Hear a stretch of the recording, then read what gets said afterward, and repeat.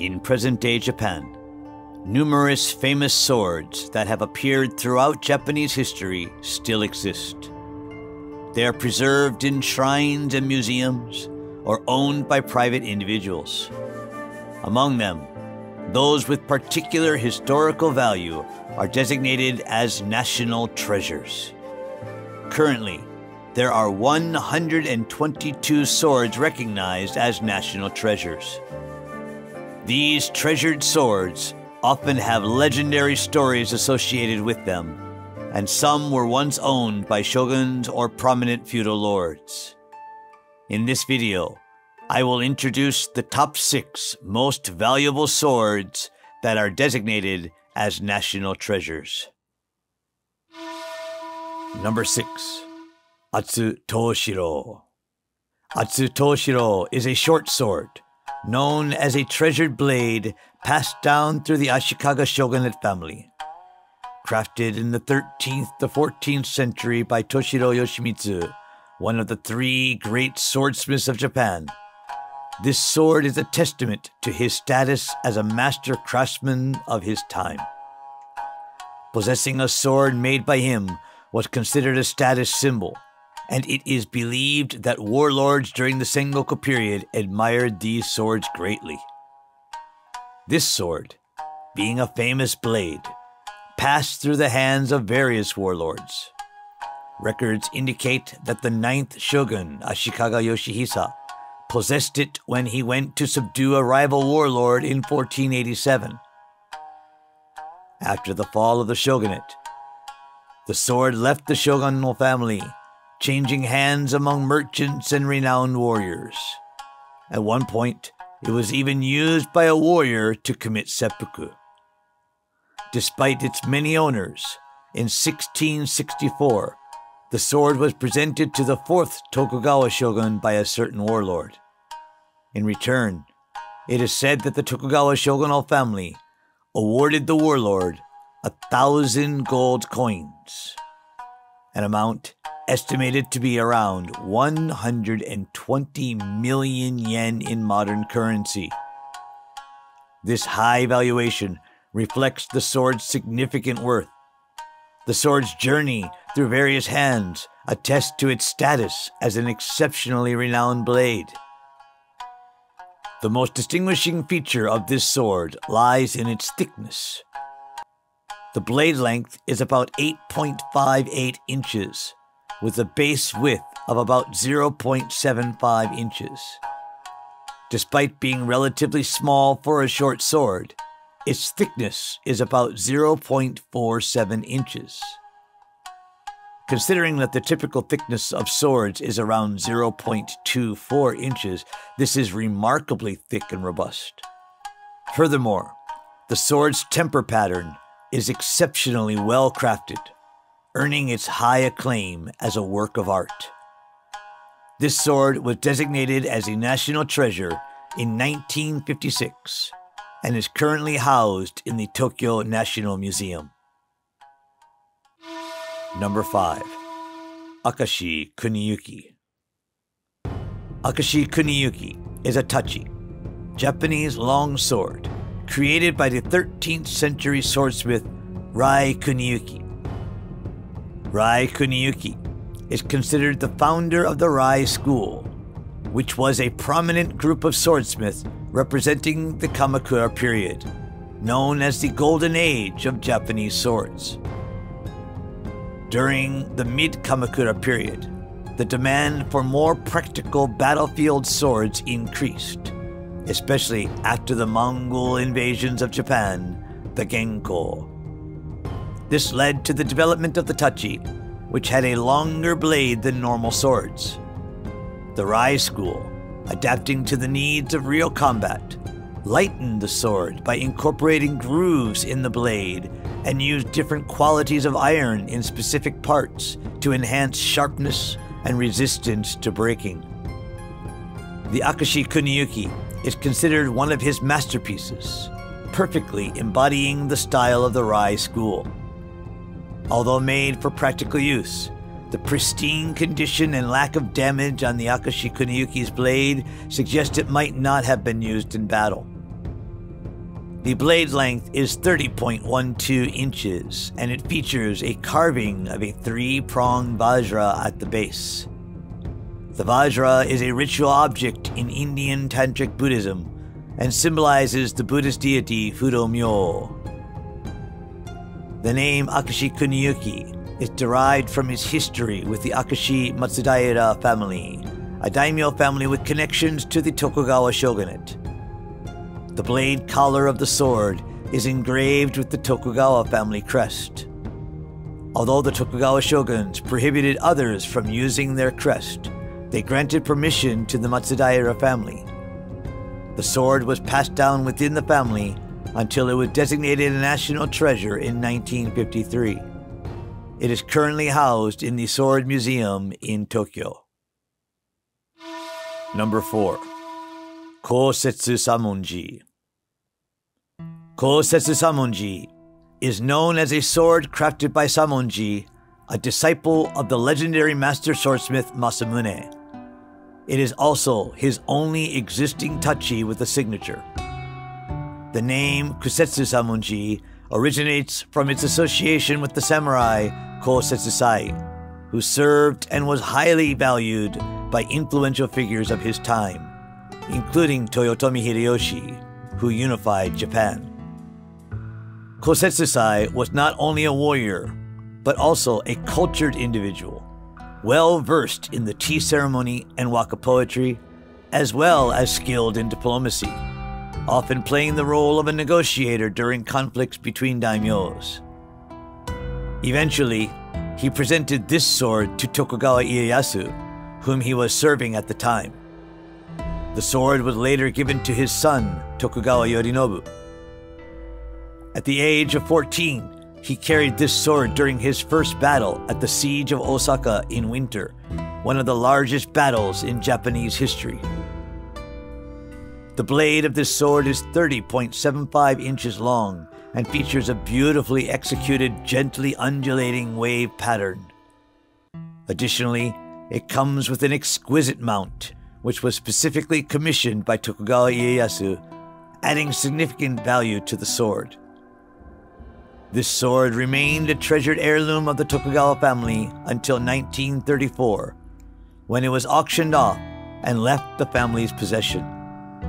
After changing hands privately, it was designated a national treasure in 1951. Today, it is on display in an art museum in Hiroshima Prefecture. Number 3.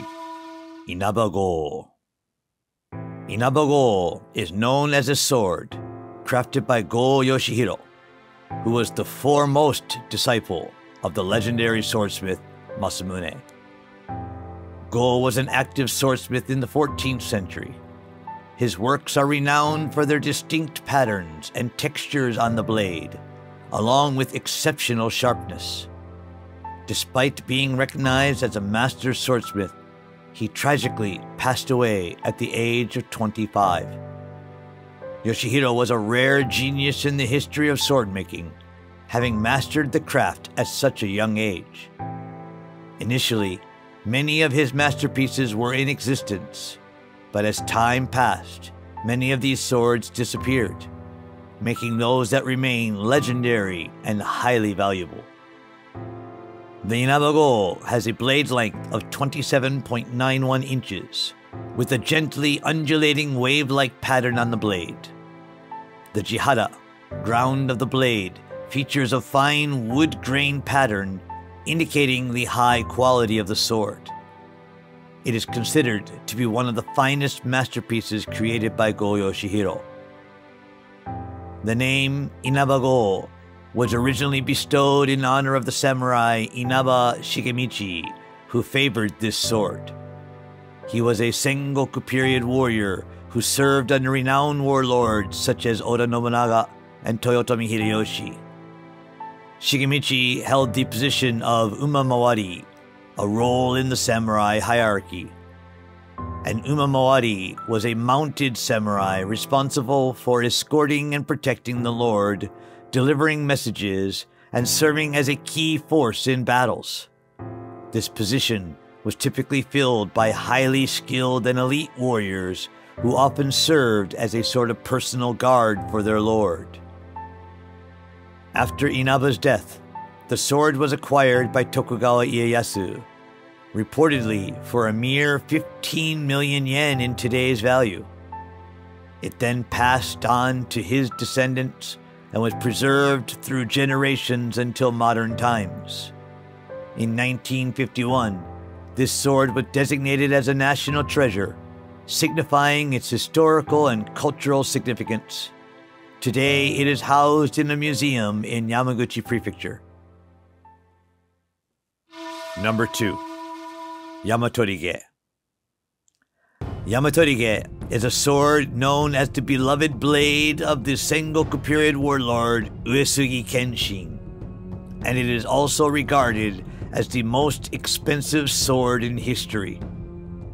Uesugi Kenshin, referred to as the God of War, or Dragon of Echigo, was a warlord famously respected for his exceptional martial prowess.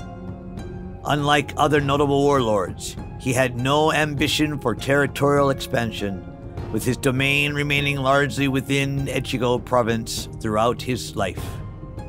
He only led military campaigns when called upon by other states, achieving victory in most of these endeavors.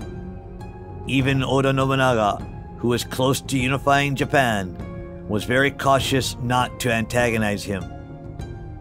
This sword was treasured by Kenshin and later used by his adopted heir, who succeeded him as the head of the Uesugi clan. It has since been passed down as a family heirloom within the Uesugi lineage.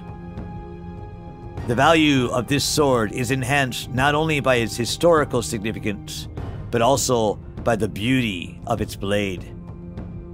The name Yamatorige, which translates to mountain bird feather, was derived from the delicate and ornate pattern of the blade, resembling the feathers of a mountain bird. This pattern is created during the quenching process, where the heated sword is rapidly cooled in water and is a crucial aspect in the appreciation of Japanese swords. Furthermore, this sword is known as the most expensive in history valued at an astonishing 500 million yen. In 2020, Setouchi City in Okayama Prefecture purchased it from a private owner for this amount. Recognized as a national treasure in 1952, the sword is currently held by the city and is displayed to the public about once a year. Number 1 Mikazuki Munechika Mikazuki Munechika is a sword created by the famous swordsmith Sanjo Munechika during the Heian period. It is one of the Tenka Goken, a term that refers to the five most celebrated swords among Japanese swords. Among the swords crafted by this swordsmith, there are several, including Kogitsune Maru, that, despite not existing anymore, still resonate as legends. The blade length of this sword is 31.5 inches. Its beauty is enhanced by the slender width and the gentle curve towards the tip. The origin of the name Mikazuki Munechika comes from the crescent moon-like pattern on the blade. Several crescent moon patterns appear along the edge, making it a distinctive feature of this sword.